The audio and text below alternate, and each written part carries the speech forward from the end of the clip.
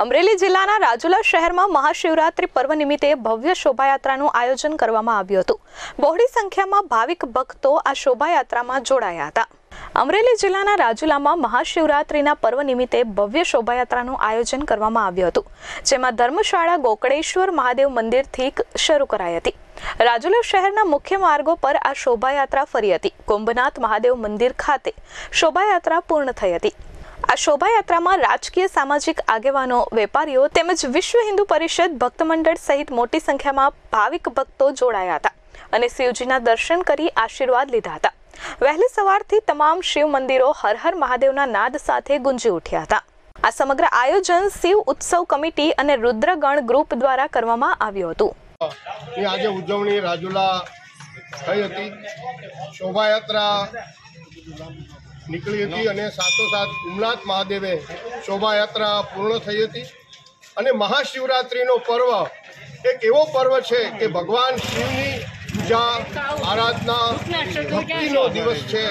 અને હર હરના મહાદેવના નારા સાથે સમગ્ર સૌરાષ્ટ્ર અને ભારતની અંદર જ્યારે શિવ ભક્તો થનગની રહ્યા હોય, એવામાં રાજુલામાં પણ ઉમનાથ મહાદેવના સાનિધ્યમાં મહાઆરતી અને શોભાયાત્રા પહોંચી હતી. બહોળી સંખ્યામાં શિવ ભક્તો જોડાયા હતા અને ખૂબ રાસ ગરબા સાથે અને શંભુના નાદ સાથે આ શોભાયાત્રામાં ખૂબ આનંદ વિભોરથી ભગવાન શિવના નારા લગાડવામાં આવ્યા હતા. સૌના સાથ સહકારથી અને ભગવાન શંકર ભગવાનના આશીર્વાદથી બહુ સુખરૂપ અને આનંદથી ભક્તિભાવ થઈ ગયા બધાને સરસ રીતે કહેવાય ને સફળતાપૂર્વક આયોજન થયું. શોભાયાત્રા બહુ સરસ રીતે ફરી છે અત્યારે.